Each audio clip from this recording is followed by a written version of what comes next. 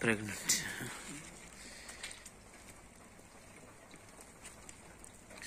अच्छा sir photo ले जरा इधर आ